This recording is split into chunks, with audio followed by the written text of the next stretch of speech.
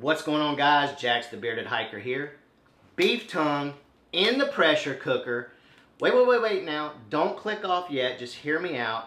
Because what you may call bizarre, I call lip smacking goodness. Now, a lot of you are probably turned off because, you know, it looks like a tongue. I get you. I feel you on that. But it's just a muscle. So if you actually want to get technical about it, it's really a muscular organ.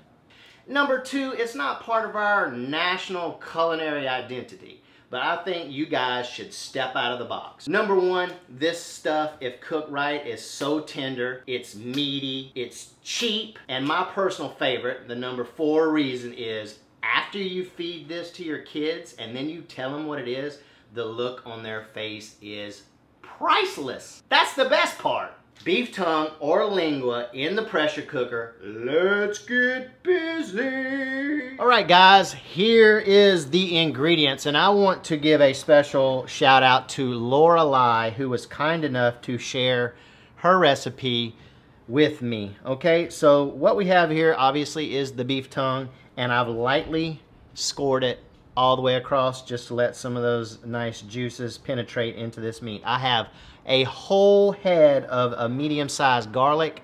I have a whole onion that has been quartered. I have two guajillo dried chilies here that I have lightly roasted. And here I have two tablespoons of peppercorn and two tablespoons of Himalayan sea salt.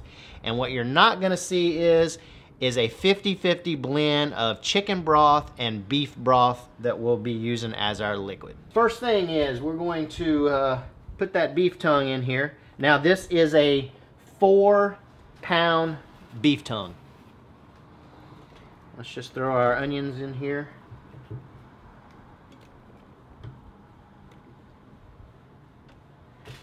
In goes our guajillo chilies. Now put those chilies all the way in here like that. It's for some added flavor. I'm going to throw in our garlic. And in goes our salt and pepper corns. And okay, you're probably going to have a fill line in your pressure cooker. Make sure, put as much liquid as in here as you can without going over your maximum fill line. Hopefully we'll have enough to cover it. If Yeah, that's going to be perfect. So I'm not going to go over the fill line. I'm just going to have enough to cover it. Okay, lastly, put the lid on it. Set the pressure to high and you're going to pressure it for 50 minutes and then you're going to let it come down naturally. All right, we just took this off. Everything looks great. Oh yeah, nice and tender. All right, so now what we need to do is we're going to remove this and take the skin off the tongue. Okay, now it's time to get down and dirty with this. So it should uh, the skin should peel off fairly easy. I've let it cool just a little bit. And see how the skin just pulls pulls off. Alright, we just want to take all the skin off here. All the way around. And then any fat that's left on it. But look at that. Just fall apart. Look at that. How tender. Okay, so we've moved outside. I'm going to fry. You see how I've cut these up?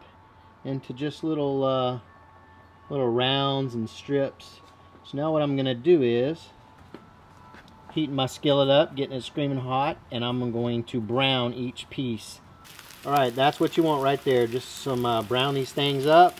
Then after you get them browned up, we're going to chop them up into uh, like little nuggets, like, I don't know, small, as, small or as big as you want for uh, tacos. So there it is, folks tacos de lengua or cow tongue. So that's it, chopped up. Alright, so now what we're going to do is uh, I'm to taste this stuff in a corn tortilla. Alright, here we go guys. It's not as hot as I'd like it to be because we've been out here taking pictures of it. But uh, okay, I hadn't tasted it yet at all. Hmm. That's bomb. Delicious. Alright guys, beef tongue or lingua in the pressure cooker. Do it.